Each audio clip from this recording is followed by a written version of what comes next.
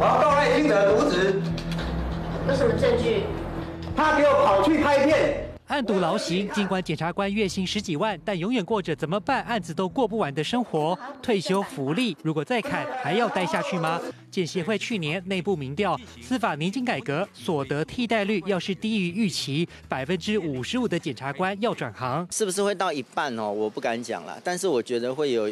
会有一定的比例会离职。他是检审会前委员蔡启文，目前任职于士林地检署。蔡启文认为，要不要继续检察官生涯，其实有个关键数字：所得替代率百分之八十六成的话，那我认为是确实会有影响到一个。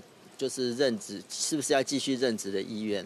那如果说是八成的话，我想影响就不大。检协会调查结论呼应蔡启文的说法，百分之八十五的检察官支持所得替代率维持八成以上。关于司法官年改到底怎么改，法界小道消息不断。最悲观版本，退休金加退养金比较一般公务员砍到剩百分之六十。真的是六成的话，我认为大概在五十岁以前的会有一波比较明显的离职。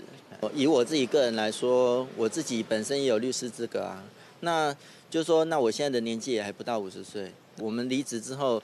迅速的去开创另外一条事业的话，其实是很有可能的。这恐怕引发检察官离职潮。蔡启文说，德国检察官退休所得替代率同样六成，但他们不用烦恼子女教育费，也习惯一辈子租房子，加上社会福利制度完整，退休六成薪，人过得很好。